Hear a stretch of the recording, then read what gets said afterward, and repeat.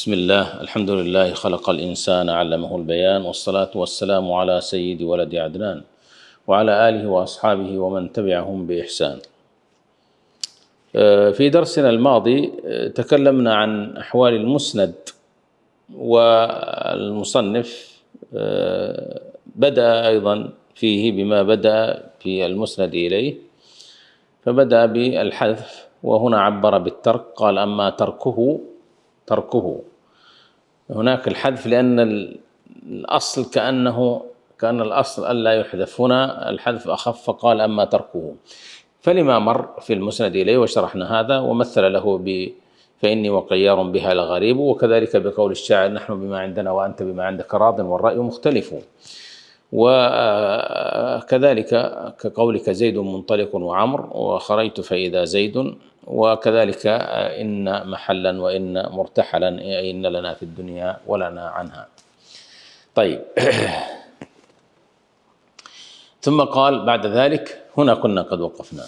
قال وقوله أي وكقوله تعالى قل لو أنتم تملكون خزائن رحمة ربي إذا لأمسكتم خشية الإنفاق. هنا أيضا حذف المسند. في هذه الآية. ماذا يقول النحويون في هذا؟ يقولون إن أصل الكلام قل لو تملكون أنتم تملكون. الآية قل لو أنتم تملكون. لكن هنا لو يأتي بعدها فعل مضارع لو حرف شرط في مضي ويقل إيلاؤه مستقبلا.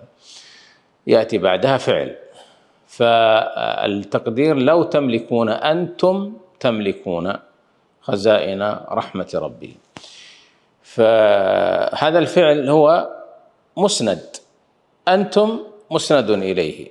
حذف المسند. طبعا البلاغي بعد ذلك يبحث لماذا حذف هذا الفعل. حذف مثلا قد يكون من أغراض هذا الحذف. وبين ذلك الزمخشري لمن أراد أن يرجع إلى هذا لأننا لا أدري ماذا قال الزمخشري بالضبط يعني في في هذا لكن مر لي بي توجيه له لكن من النكت في هذا أنه لو جاء بالمسند هنا تملكون لا ما احتاج إلى التوكيد في تملكون أو لو كان التوكيد ها هنا غير موجود في تملكون الفعل الثاني. فكون الفعل يكون مكررا بهذه الصورة لا شك أن المعنى يكون آكد. فلما حذف المسند هو هو موجود لكنه كامل. يعني في شيء يكون موجودا بالقوة وهناك شيء يكون موجودا بالفعل. هذا موجود وشيء موجود بالفعل وبالقوة. هذا موجود لكنه بالقوة. والذي هو موجود بالفعل تملكون الثاني. وهكذا. وكذلك قوله تعالى وقوله هذا كلام مستأنف لأن فيه وجهين. لأن فيه كم؟ وجهين. وهو قوله تعالى فصبر جميل. فصبر جميل. فصبر جميل ها هنا احتمالان. هناك احتمال أن يكون المحذوف هو المسند إليه واحتمال أن يكون المحذوف هو المسند ولكل تقدير. ولهذا ماذا قال المصنف؟ قال يحتمل الأمرين. قوله تعالى فصبر جميل يحتمل الأمرين. أي أجمل أو فأمري. طيب إذا إذا قلنا التقدير فصبر جميل أجمل فالمحذوف هو المسند. وإذا قلنا فأمري صبر جميل المحذوف هو المسند إليه. فلا يكون شاهدا. الشاهد هو فصبر جميل أجمل. على هذا المعنى أن المحذوف هو المسند. طيب وهذا موجود في كثير من الأمثلة. يحتمل أحيانا أن يكون المحذوف هو المسند وأحيانا هو المسند إليه. آه إذا هذا معنى قوله وقوله أي سبحانه وتعالى فصبر جميل يحتمل الأمرين. أي أجمل يحتمل يحتمل أن يكون المحذوف هو المسند فيكون التقدير فصبر جميل أجمل ويحتمل أن يكون المحذوف هو المسند إليه فيكون التقدير. فأمري صبر جميل. أمري مبتدأ صبر. هذا خبر جميل نعت له. ثم قال بعد ذلك ولا بد من قرينة. القرينة ما هي القرينة؟ الزوجة؟ نعم لكن أيضا اللفظة نفسرها على حسب ما يناسبها طبعا. القرينة هي علامة دالة. دالة على معنى الشيء أو ترجيحه. وقد تكون لفظية وقد تكون معنوية.